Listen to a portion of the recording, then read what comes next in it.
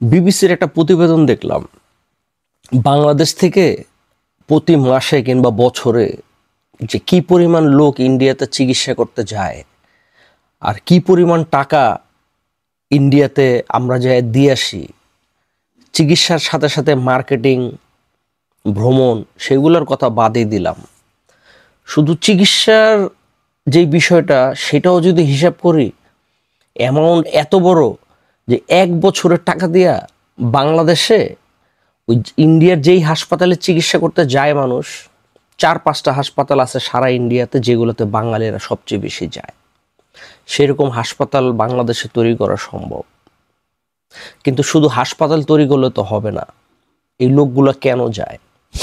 পুরো প্রতিবেদন দেখে যা বুঝলাম, ইন্ডিয়ান অনেকগুলো ডাক্তার এবং অ্যাসোসিয়েশন এবং হাসপাতালের স্টাফ এবং ইন্ডিয়ান কিছু লোক এবং বাঙালি যারা ওখানে হাসপাতালে চিকিৎসা নিতে গেছে, তাদের অনেকের বক্তব্য শুনলাম। শুনার যেটা বুঝলাম, বাংলাদেশ থেকে ইন্ডিয়ায় চিকিৎসা করতে যাওয়ার কারণ একটাই, সেটা হলো বিশ্বাস। আর হলো কিছু টেস্ট। আমাদের এখানে টেস্টগুলোর ভিতরে হলো সবচেয়ে বড় ঘাপলা। আর ডাক্তাররা রোগীরে আশ্বস্ত করতে পারে না।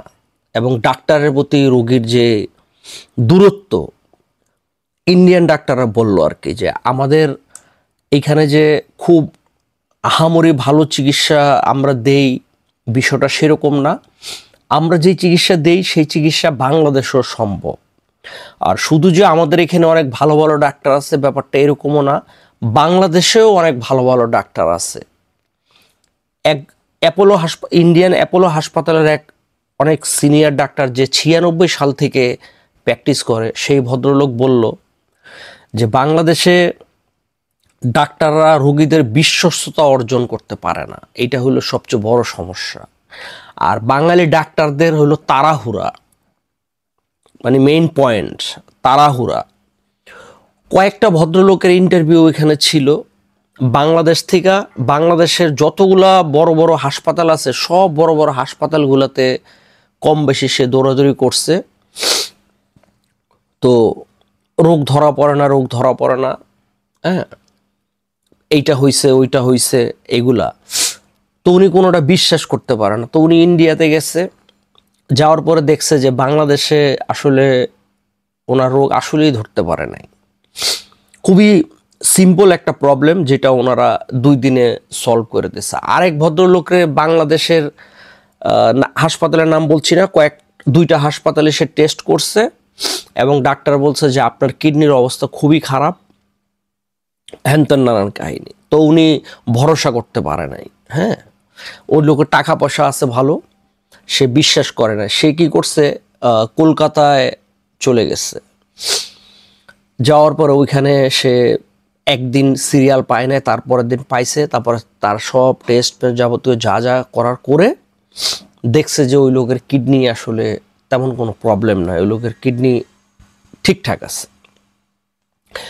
আরেক মহিলা একটু আপার ক্লাসের মানে ভালো পয়সাওয়ালা, ওনার স্কিনে প্রবলেম তো উনি বলল যে, আমি বাংলাদেশে অনেকগুলা হাসপাতাল এবং বড় বড় ডাক্তার যারা আছেন, আমি অনেকের কাছে গেছি, অনেক ধরনের টেস্ট করছি, অনেক ওষুধ খাইছি, আমার তেমন কোনো উন্নতি আমি পাই নাই। তো আমি ইন্ডিয়াতে ডাক্তারও দেখাবো এবং চিকিৎসা সরি ডাক্তার দেখাবে এবং সে একটু ঘোরাঘুরি করবে। তো সে বলল যেই প্রবলেমের জন্য আমি এত পয়সা খরচ করছি, এত ডাক্তারের কাছে গেছি, এইখানে আইসা আমার পনেরোশো টাকার ওষুধে এবং তিনবার ডাক্তারের কাছে গেছি টেস্ট এবং ডাক্তার একদিন দেখছে আর এরপরে আরেকদিন যাইতে বলছে। এবং আমি ইন্ডিয়াতে যে ঘুরতেছি, এর ভিতরেই আমার প্রবলেম সলভ হয়ে গেছে। অথচ বাংলাদেশে আমি এত পয়সা খরচ করছি, এত ঘুরছি কিছুই হয় নাই। ইন্ডিয়ান ডাক্তারগুলো বলল যে, বাংলাদেশে অনেক ভালো ভালো ডাক্তার আছে। আমগো বাংলাদেশের ডাক্তারদের তারা খুব একটা বদনাম করে নাই।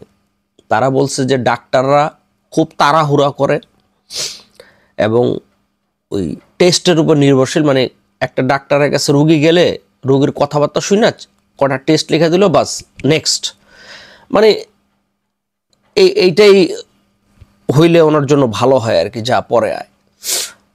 এবং এই যে টাকা কামানো মানে ডাক্তার বইলে কথা, যেই ডাক্তারদেরকে আমরা সেকেন্ড গড হিসাবে দেখি, যে ডাক্তাররা আল্লাহর পরে আমরা ডাক্তারে মনে করি যে একটা ডাক্তার আমাকে জীবন বাঁচায়। তো সবচেয়ে বড় কথা হলো যে আমাদের দেশে যে ডাক্তারগুলা, সেই ডাক্তারগুলোর মেন্টালিটি চেঞ্জ করার দরকার। এটা দুই হাজার তেইশ সাল আমি আপনাদেরকে বলব যে আপনারা আপনাদের মেন্টালিটি চেঞ্জ করেন। ধন্যবাদ, ভালো থাকবেন, সুস্থ থাকবেন, নিরাপদে থাকবেন, আসসালামু আলাইকুম।